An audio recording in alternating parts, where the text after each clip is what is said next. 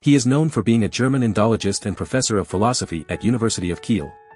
He is recognized for his strong influence from Arthur Schopenhauer and his friendship with Friedrich Nietzsche and Swami Vivekananda. His name is Paul Jakob Deussen. Paul Jakob Deussen, a German Indologist and philosopher, embarked on a remarkable journey of intellectual exploration and cultural appreciation. Inspired by the teachings of Arthur Schopenhauer, Deussen developed a deep fascination for Sanskrit and Hinduism. In his pursuit of knowledge, he became friends with influential figures like Friedrich Nietzsche and Swami Vivekananda, forging connections that would shape his scholarly endeavors. Driven by his passion for Sanskrit and Hindu philosophy, Deussen Sanskritized his name to Devasena, a symbolic gesture reflecting his profound admiration for the language. Like many of his European counterparts, Deussen eagerly participated in the Western discovery of Sanskrit and Hinduism that took place in British India, Germany, France, and England. As a testament to his dedication and expertise, Deussen founded the Schopenhauer Society in 1911, an organization that celebrated the philosophical legacy of Arthur Schopenhauer. In 1912, he assumed the role of the first editor of the Schopenhauer Yearbook, a scholarly journal that further promoted the understanding and exploration of Schopenhauer's philosophy. Deussen's profound impact on the study of Sanskrit and Hinduism continues to be felt today. His lyrical admiration for the language and culture paved the way for future generations of scholars to delve into the rich tapestry of Indian philosophy. Paul Jakob Deussen's legacy as a philosopher, Indologist, and advocate for cross-cultural understanding remains an inspiration for intellectual pursuits worldwide. Paul Deussen, born on January 7, 1845, in Oberdreis, Neuwied, was the son of a clergyman and grew up in modest circumstances. He developed a deep interest in philosophy, particularly the works of German philosopher Schopenhauer and the philosophy of Kant.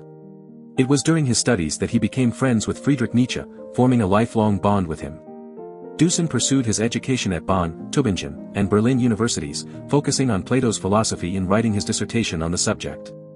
He went on to hold various academic positions, including Privatdozent and Extraordinarius at the University of Berlin, and later as Ordinarius at the University of Kiel. Alongside his teaching career, Deussen dedicated himself to editing the Schopenhauer yearbook and working on an edition of Schopenhauer's works. However, it was a lecture by Professor Christian Lassen on the Shakuntala at the University of Bonn that ignited Deussen's passion for Sanskrit and Hinduism. This newfound interest led to his first publication, The Elements of Metaphysics, released in 1894. Deussen continued to delve into Hindu philosophy, translating texts such as The Sutra of the Vedanta and The Philosophy of the Upanishads, both published in 1906, and The System of the Vedanta in 1912. His visit to India in 1904 resulted in the publication of My Indian Reminiscences in 1912, offering unique insights into his experiences. Deussen's scholarship was highly regarded, described as immense, perceptive, and meticulous. He developed a comprehensive understanding of Sanskrit and Hindu philosophy, using the Brahma Sutra and Adi Shankara's commentary as the foundation for his work on the system of the Vedanta.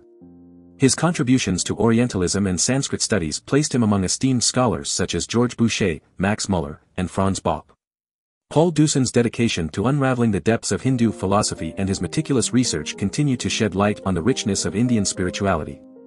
His work serves as a gateway for Western audiences to explore the profound wisdom contained within Sanskrit texts, allowing us to broaden our understanding of divinity and morality in our daily lives. Do you want to explore more philosophers? Who do you want to see featured next? Subscribe and leave a comment below to let me know. I'll see you in the next video.